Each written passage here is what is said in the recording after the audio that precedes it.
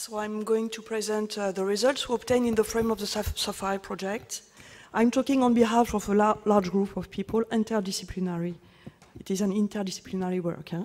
We merged uh, geneticists, but also immunologists, people working on vaccine response. So uh, it, is, um, uh, it was conducted in the frame of the INRA partnership, and Fanny Blanc was a postdoc working on this project. And uh, uh, it was also combined uh, with other um, animals that were produced at the Royal Veterinary College in London and also at the Roslin Institute. So we had access to two different populations for, so here we produce all the animals for the pigs at INRA and for the chicken it was produced uh, at, um, at RVC. Okay, so what are, uh, so uh, uh, I'm in charge of this work package, individual variability of, of um, immunocompetence, and the aim is to search for markers that could be predictive of vaccine responses. So to, uh, I would say that to refer to what uh, you said, Marianne, uh, we have uncertainty in the results, but we agree that it could be a good horizon to have predictive markers that could contribute to a better vaccine efficiency and that would contribute to good strategies that, of course, combine a better knowledge on host pathogen interactions, vaccine response, but also to individual variability of the, of the various hosts. So what are the underlying hypotheses? So we know that there is individual variability of vaccine responses, and these variabilities are higher when the vaccine is not very efficient.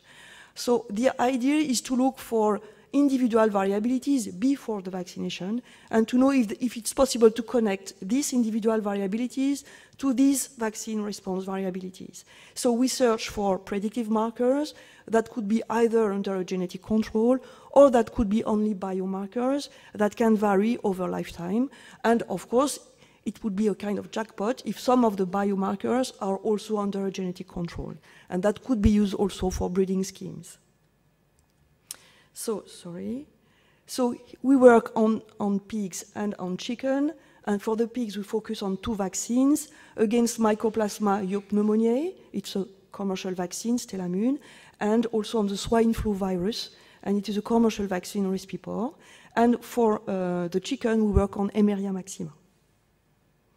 So the animals and vaccines. So um, for the pigs, uh, we have produced 48 families and we have a total number of uh, close to 200 animals per uh, vaccine, and we have the same shared controls, because you see here in the same liters, we shared between animals vaccinated against mycoplasma, against the flu, and, uh, and with no, va no vaccine. And the chickens, they were produced uh, uh, in the frame of another work package, and it was commercial broilers vaccinated with wild-type Eimeria maxima, followed by a challenge with homogeneous strain. So there is a main difference between the two experiments, because in this experiment, we measure response to the vaccine, but we do not challenge the animals, so we cannot have the information on the protection level of the animals. But here in the uh, chicken experiment, we have this information of the animal protection. So we are talking about uh, interdisciplinarity, but also about multiple types of data we we gather and we want to integrate. So if I summarize, we have, for the pigs, we have the family pedigree. Uh, we have the genotypes, and we had access to a high throughput genotyping with Affymetrix with more than 600,000 SNPs for each species. We have also the blood transcriptome measured before the vaccine. And uh, for the pigs and chickens, we have RNA-seq data, and we have also microRNA-seq data for the pigs. And then we have the vaccine response phenotypes, and for the chicken, we have also linked production phenotypes um, measured as body weight. So I will start with the, with the pig. Uh, so what you have here the general, general scheme. So the pigs are born in an, an experimental farm at INRA. They are weaned at 28 days of age, and then they are um, uh, vaccinated um, at various time points, first time point, and then there is a booster vaccination, and each time we collect blood for the follow-up of the vaccine response. And before this vaccine, the day of vaccine, uh, we collect blood for hemogram and DNA extraction for transcriptome analysis, to, make, to, to have a kind of bio, biorepository of all PBMCs for further functional tests, and also the serologic uh, uh, information. So that is before vaccination, and that's where we are. We work on these samples to search for biomarkers and genetic markers, and we correlate with the response of the vaccine response. And here we have the follow-up of the vaccine response at various time points. So here you, you have this information on this individual variability of the response. So here you have um, the vaccine day and then the booster vaccine. So not, not so much information can be collected on the vaccine uh, response uh, before the day 49. And then you have this um, uh, increase in the uh, specific antibody level uh, that can be measured at day 56, 63, and even late during lifetime. And here, since at day 49, we were also looking for uh, variability, the sera were diluted 1 to 40 with limited varia variation, and when the sera was not so much diluted, it was possible to distinguish between positive and negative animals. So it's possible to have this onset of positive response uh, at, at day 49. So here it was possible to measure the, by combining vac vaccine response phenotypes and the family pedigree, it's possible to have an information on the heritability of the phenotype. So we confirm that it is heritable with a, a 0.34 uh, uh, uh, estimation and the standard deviation, meaning that it is still significant if, even if we uh, remove the standard uh, deviation. So the idea is to connect now the genotypes with the vaccine response phenotypes, and then to, to carry on uh, uh, genome-wide association studies, and that you can see that uh, we have uh, done this experiment with the dilute, uh, with the phenotypes, uh, with the seri diluted 1 to 40 and 1 to 4. Here we had some preliminary data, and that is fully confirmed with the more informative phenotype. So what you can see is that we have peaks of significance on chromosome 4. So that is interesting, meaning that we, we have this connection between an heritable trait and some uh, uh, genomic regions uh, of the uh, genomes that uh, are associated. So if we look closely at this uh, candidate associated region, we have a one megabase genomic region, and we find three genes that's quite interesting actually because uh, this gene uh, has been reported to be expressed in immune tissues with a role in regulating the migration of dendritic cells. Uh, associations also have been reported with platelet counts in humans. Uh, we have this gene FAM49B, uh, which has been shown by GWAS in, in, in human to reveal associations between variants and lymphocyte white blood cell counts. And you have also this gene, Gasdermin-C, and GWAS association in, in humans have revealed uh, that there was uh, associations with variants of these genes and the monocyte counts. So we fall into a region where three genes are, I would say, biologically relevant. You have to keep in mind that this region does not fully explain the variation of the phenotype. It's a multi-locus phenotype, but we can find association in the genome, meaning that we could find also genetic markers. Now if we connect uh, if, we, if we have a look at the transcriptome data, you have here the different uh, groups that could be drawn by high and low responders. And if we uh, uh refer to the high responders, uh, we can find uh, we can compare the high and the low responders and perform differential expression analysis of the uh, genes uh, that are expressed in the blood. And we do find uh, genes that are differentially expressed in the blood and that uh, are associated with the uh, level of response after the vaccine. And interestingly, we have 25 genes uh, that were shared with extreme animals from vaccinated against mycoplasma at two different ages. So meaning that it's possible to keep the same genes uh, differentially expressed at different time points.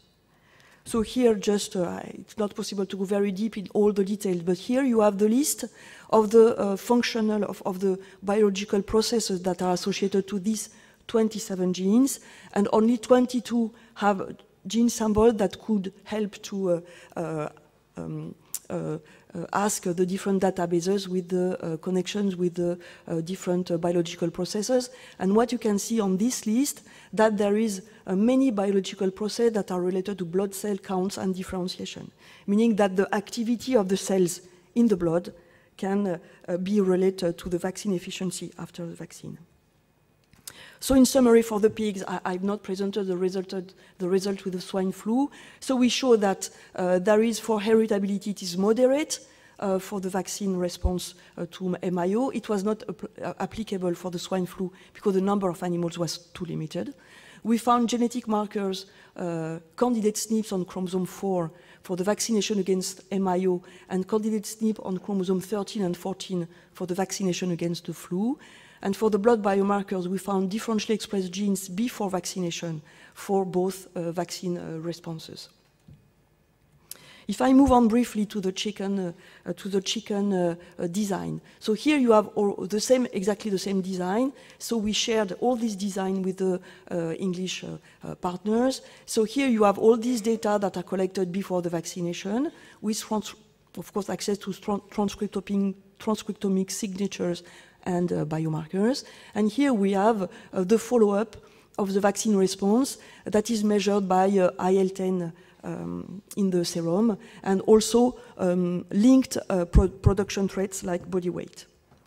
So here you have this onset of uh, IL-10 response uh, that is a, apparently a good measure of the vaccine response. And here we have the different linked uh, traits that corresponds to uh, uh, the body weight gain, either nine day post-vaccine or seven days post-challenge. And you have also this information on, on the parasite uh, load uh, in, the, in the animals. And you have the total number of animals. Maximum there was 96 animals, and according to the trait, uh, sometimes there are less, less animals. So here we have this um, uh, Uh, blood uh, transcriptome, and uh, the animals could be uh, uh, separated for high and low responders connected, connected to these different parameters. And uh, here we have uh, this uh, number of differentially expressed genes between the high and the low groups. And since you see the number of animals was lower, we did not find as many genes as for the pig experiment. But anyway, we have this trait connected to the vaccine response with differential expression uh, in the blood and also some uh, uh, few genes differentially expressed between high and low groups for the body weight gain. So these two parameters, post-vaccine and also post-challenge. And in the, in the chicken, if we combine the blood transcriptome data with the genotypes, we can have access to expression uh, genome-wide association studies, meaning that the phenotypes are the gene expression levels in the blood, and of course the genotypes are the SNPs. So the read counts were normalized using the count per million approach. Only genes for which at least 30 chickens showed one count per million and more than 10 reads were kept in the analysis. So we could find more than 13,000 uh, genes uh, that could be included in this EGWAS uh, study and um, 3,312 significant associations were found between close to 700 genes and close to 2,000 SNPs.